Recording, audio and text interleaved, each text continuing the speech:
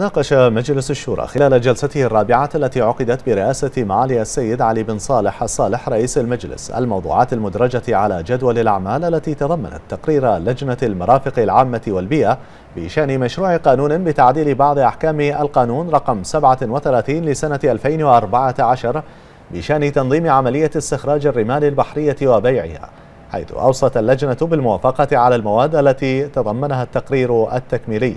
فيما قرر المجلس إعادة بقية المواد للجنة لمزيد من الدراسة بطلب من رئيس لجنة المرافق العامة والبيئة.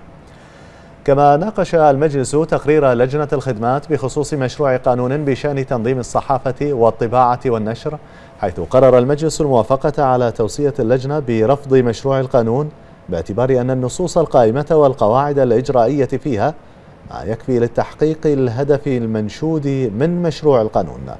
هذا وبحث المجلس تقرير لجنة الخدمات بخصوص مشروع قانون بشأن تنظيم سوق العمل المتضمن توصية اللجنة بالتمسك بقرار اللجنة السابقة حيث قرر المجلس الموافقة على توصية اللجنة برفض مشروع القانون بعدم الموافقة كون الغاية منه متحققة على أرض الواقع بالفعل. المشروع القانون هو في الأصل مقترح من مجلس النواب الموقر بصيغة المعدلة.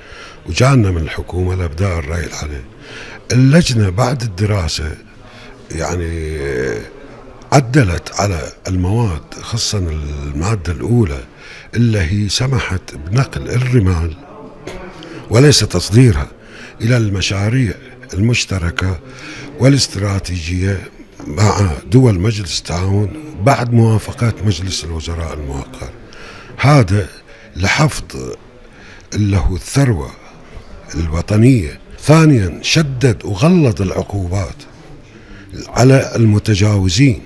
يعني وصل العقوبة إلى مئة ألف دينار كحد أقصى وحد أدنى عشرين ألف دينار. وفي حالة العود مئة أربعين ألف دينار ومئتين ألف دينار مع إلغاء الترخيص.